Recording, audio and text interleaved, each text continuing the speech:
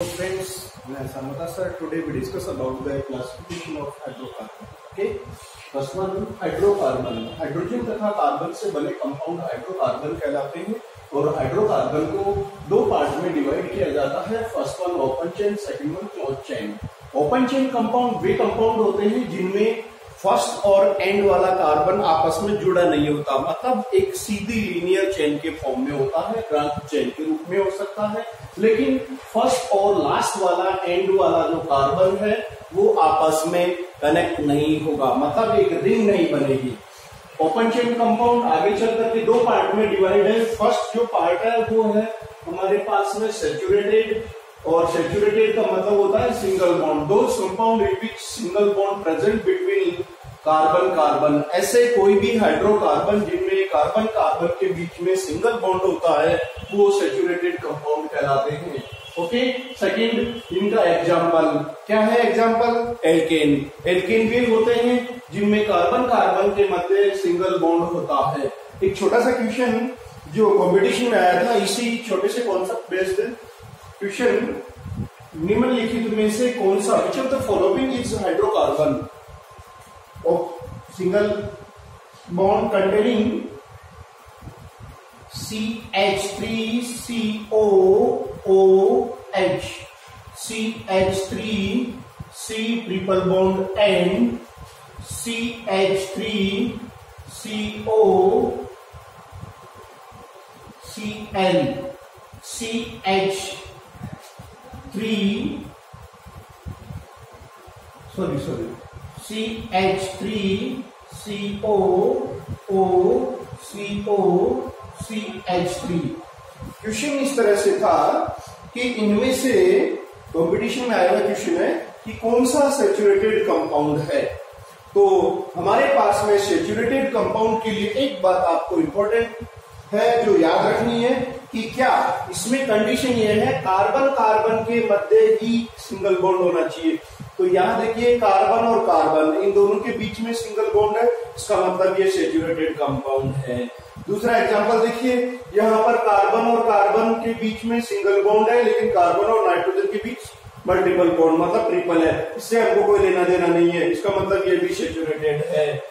इसमें देखिए, यहाँ पर कार्बन और कार्बन के मध्य सिंगल बॉन्ड है। यहाँ पर आगे चल करके डबल बॉन्ड आ रहा ऑक्सीजन इससे हमको लेना देना नहीं है। यहाँ कार्बन कार्बन वाली कंडीशन अप्लाई हो रही है।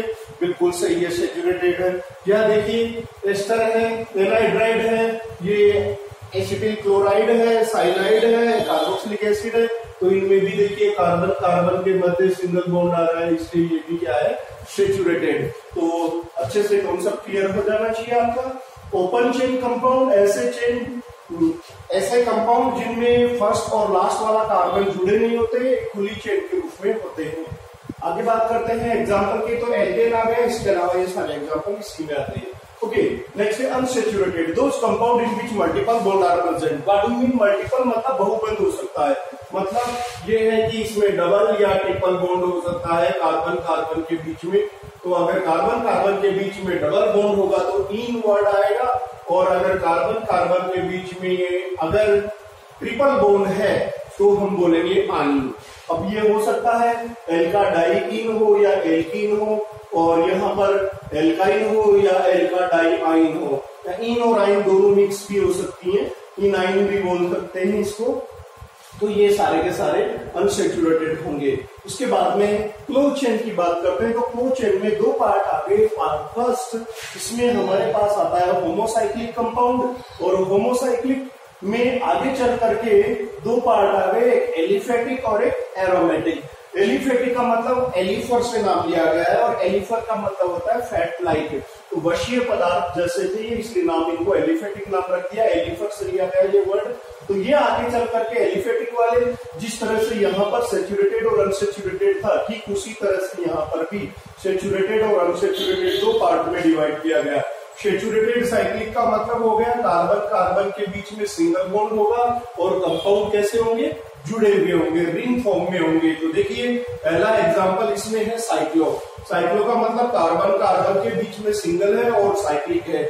इसलिए इसका नाम देंगे हम cyclopropane cyclopropane cyclo word आएगा क्योंकि बंद विलय है और प्रोपेन वर्ड इसलिए है क्योंकि तीन कार्बन है। देखो, एक, दो, तीन, चार, तीन। तो यहाँ पर तीन है, इसलिए नाम दे दिया साइक्लो प्रोपेन ये वाला कंपाउंड बाईसाइक्लो इसमें दो रिंग दो विलय बन रही है। एक रिंग ये है, एक रिंग ये है इसलिए बाईसाइक्लो अभी नाम, जब हम इनके आईयूपीएससी के रूल पढ़ेंगे, उस वक्त ये सारी बातें आएँगी। अभी आपको नाम याद नहीं रखने, सिर्फ़ ये देखना है कि ये साइक्लो कंपाउंड है, ये बाईसाइक्लो इसमें दो रिंग बन रही है।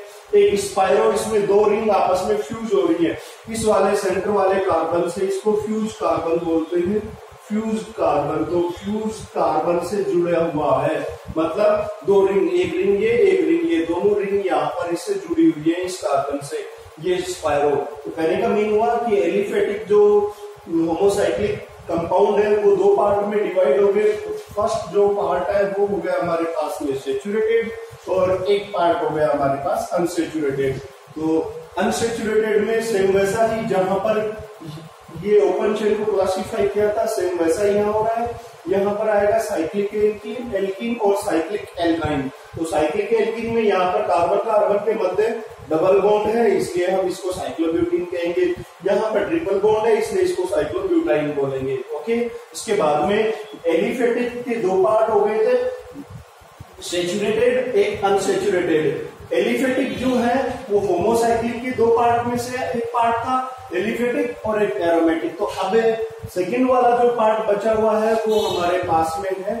ये तो हो गया एलिफेटिक और ये हो गया एरोमेटिक तो एरोमेटिक वाले पार्ट में से देखिएगा सबसे पहले कौन सा आया बेंजिनोइड मतलब those compound in which benzene ring present जिनमें बेंजीन जैसी स्ट्रक्चर प्रेजेंट होती है उनको बेंजिनोइड नॉन बेंजिनोइड इनके अंदर नॉन बेंजीन रिंग होगी। इसमें बेंजीन रिंग होगी, इनमें नॉन बेंजीन रिंग होगी।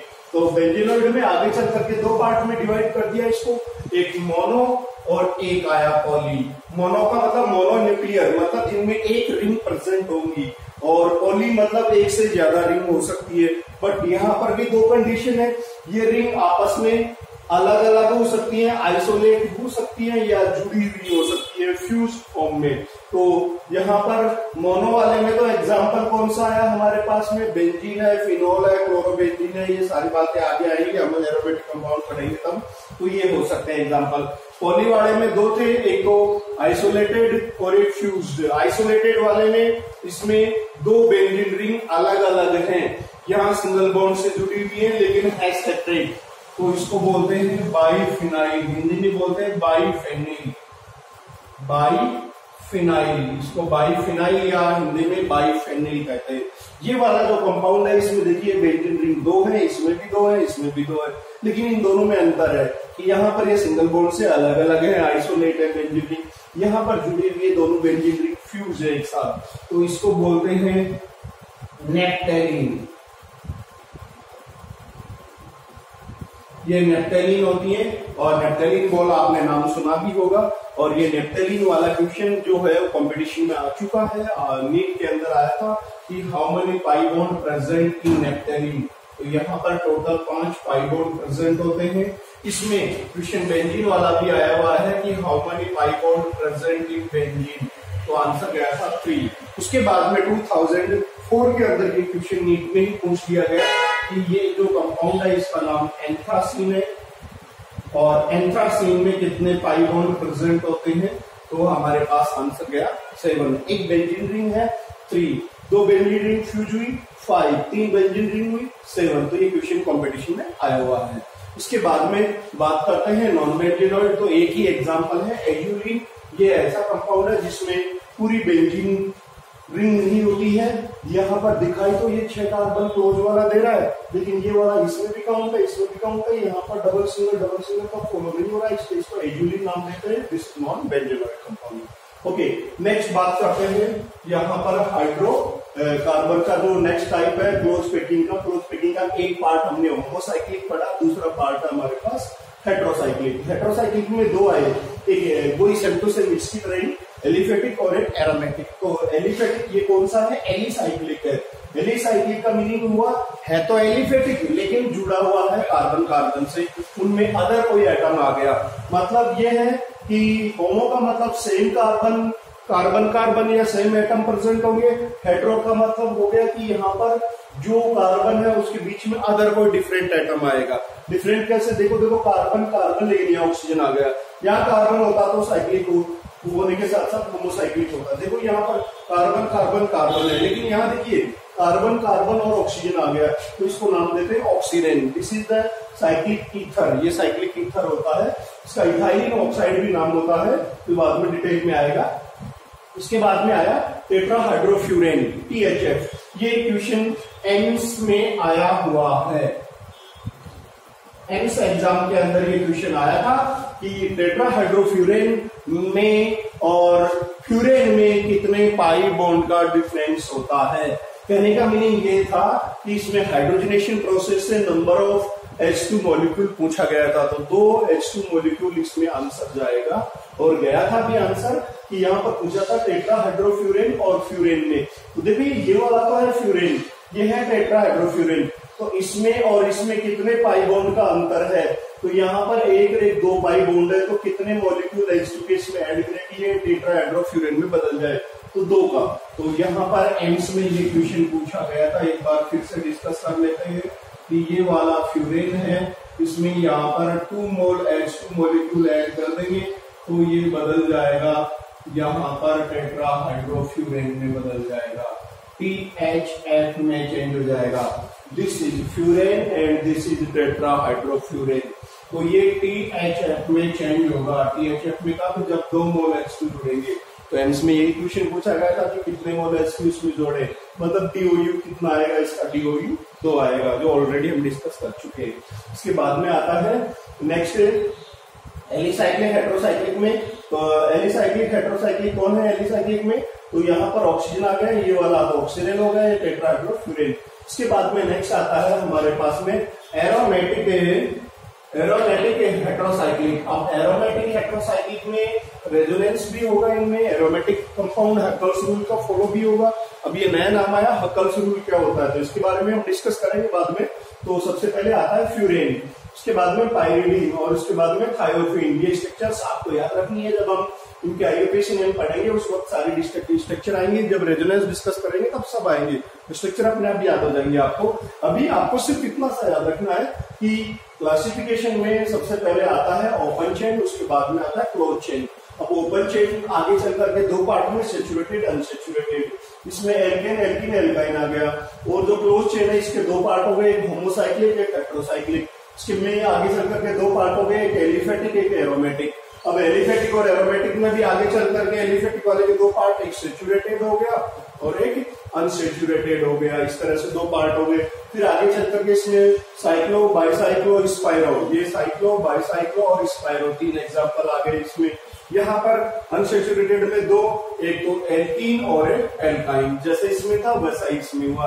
उसके बाद एरोमेटिक में आगे चल करके एक बेंजेनॉइड और एक नॉन बेंजेनॉइड बेंजेनॉइड में बेंजेनॉइड में हमारे पास में आ गए बेंजीन रिंग वाले। अब ये हो सकती है एक रिंग हो सकता है एक से ज़्यादा हो। अब एक रिंग होगी तो बेंजीनल फिनोल है क्लोरोबेंजीन इस तरह से होंगे।